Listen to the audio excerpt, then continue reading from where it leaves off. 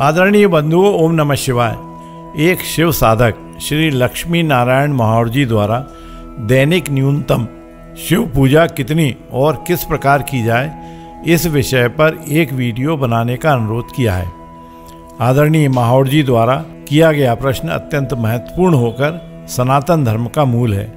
यद्यपि, शिवा मिशन न्यास द्वारा संक्षिप्त शिव पूजा पद्धति का प्रकाशन वर्ष 2010 से निरंतर किया जा रहा है और यह शिवा मिशन न्यास की वेबसाइट www.shivamission.in पर सर्च कर आप पढ़ सकते हैं।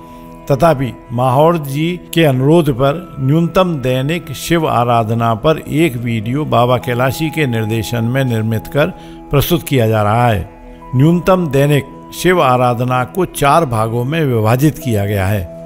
यदि आप चारों भाग पूर्ण करते हैं तो प्रतिदिन आपके केवल 30 से 35 मिनट खर्च होते हैं। तो आइए, प्रथम चरण के विषय में जानते हैं। यह चरण सुबह उठते ही शयन कक्ष में नित्य क्रिया के पूर्व प्रारंभ होता है।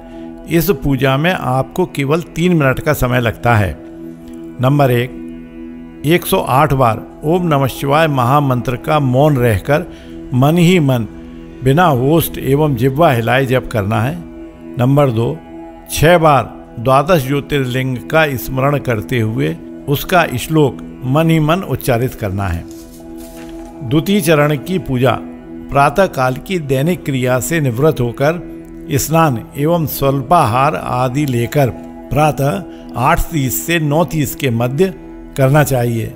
इस पूजा में आपको 20 से 25 मिनट का समय लगेगा। सर्वप्रथम आप एक आसन पर सुखपूर्वक बैठ जाएँ। तदुपरांत भगवान शिव का ध्यान इस प्रकार करें। कल्याणदाता भगवान शिव कमल के आसन पर विराजमान हैं। उनका मस्तक श्री गंगा जी तथा चंद्रमा की कला से सुशोभित है। उनकी बाई जांग पर आदि शक्ति भगवती उमा बैठी हैं। वहाँ खड़े हुए बड़े बड़े प्रमथगण भगवान शिव की शोभा बढ़ा रहे हैं। महादेव जी अपने चार हाथों में मृग मुद्रा, टंक, वर तथा अभय की मुद्राएँ धारण किए हुए हैं। इस प्रकार भगवान शिव का ध्यान करते हुए रुद्राक्ष की 108 दाने वाली माला पर कम से कम छह माला ओम नमः शिवाय महामंत्र का ध्यान पूर्वक जप करें। तदोपरांत क्रमशः सत्ताईस सत्ताईस बार गणेश जी का मंत्र ओम गम गणपते नमः, फिर सरस्वती जी का मंत्र ओम ए ओम, और अंत में महामृत्युंजय मंत्र का जप करना चाहिए। इस प्रकार दैनिक पूजा का द्वितीय चरण यहाँ पूर्ण होता है।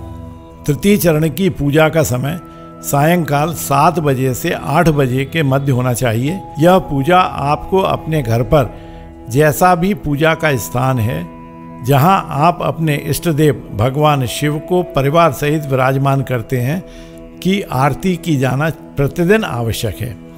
इस आरती में आपको पाँच से सात मिनट का समय लगेगा। सर्वप्रथम आप गणेश जी की स्तुति, जो भी आपको अच्छी लगती हो, पूर्ण भाव से करना चाहिए। तदोपरांत माँ दुर्गा की स्तुति करें, जो भी आरती आपके पास उपलब्ध हो। दुर्गा जी की स्तुति के बाद शिव पंचाक्षर स्तोत्र का पाठ करना चाहिए। यह तीनों स्तुतियाँ आपको शिवा मिशन न्यास की वेबसाइट www.shivamission.in पर प्राप्त हो सकती हैं। इस प्रकार तीन चरण की पूजा संपन्न हुई। द्वितीय चरण में माला जप करते समय कुछ विशेष ध्यान रखना आवश्यक है। जैसे आसन, ताप का कुचालक होना चाहिए। माला को हृदय के निकट रखकर, कपड़े से ढककर या थैली में रखकर जप करना चाहिए। जप पूर्ण होने पर तत्काल न उठते हुए एक दो मिनट शांत भाव से बैठकर भगवान शिव जप का पूर्ण फल प्राप्त हो, ऐसी प्रार्थना करना चाहिए। तदोपरांत आचमनी से आसन के नीचे जल डालकर उस जल को तीन बार आँखों पर लगाना चाहिए। तदोपरांत आसन से उठकर उसे तत्काल लपेट कर रख दें। अन्यथा आपके पुण्य को इंद्र आदि देवता ले लेते हैं। तृतीय चरण में आरती के समय घी का दीपक अवश्य प्रज्वलित करें, क्योंकि आरती को भगवान शिव के चारों ओर घुमाने से हमारे जन्म जन्मांतरों के पाप नष्ट होते हैं। इसी प्रकार दीपक की ज्योति देखने और श्रद्धापूर्वक दोनों हाथों से आरती लेने पर मोक्ष की प्राप्ति होती है। दीपक में बत्तियाँ हमेशा विषम संख्या में होनी चाहिए। तीन, नौ एवं तेरह को छोड़कर। चतुर्थ चरण की पूजा उस समय शुरू होती है, जब आप दिन भर का कार्य पूर्ण कर विश्राम हेतु तो शयन कक्ष में जाते हैं। उस समय निद्रा के पूर्व बिस्तर में दो मिनट की पूजा करना चाहिए। सर्वप्रथम छह बार द्वादश ज्योतिर्लिंग के श्लोक का मन ही मन स्मरण करें। तदुपरांत 108 बार ओम नमः शिवाय महामंत्र का जप करें। यदि यह मंत्र सोते समय तक जपा जाए तो अति उत्तम होगा।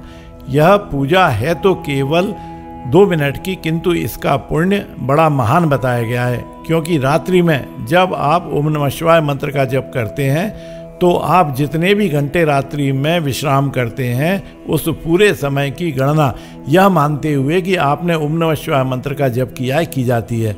ऐसा शास्त्रों में उल्लेखित है। इसीलिए बाबा कैलाशी के निर्देशन में शिवा मिशन न्यास ने रात्रि में सोते समय और प्रातः उठते समय ओम नमः शिवाय मंत्र जप का विधान न्यूनतम दैनिक शिव आराधना में सम्मिलित किया है। इस दैनिक पूजा का विभाजन चार चरणों में इस उद्देश्य की पूर्ति के लिए किया गया है कि एक गृहस्थ व्यक्ति भी इस पूजा में लगने वाले केवल 30 मिनट के समय में ही 24 घंटे की पूजा का लाभ प्राप्त कर सके। यदि यह वीडियो आपको अच्छा लगा हो तो कृपया शेयर ज़रूर करें, जिससे अधिक से अधिक लोग लाभ ले सकें और हमारे सनातन धर्म की जड़ें मज़बूत हो सकें। बोलिए, ओम नमः शिवाय।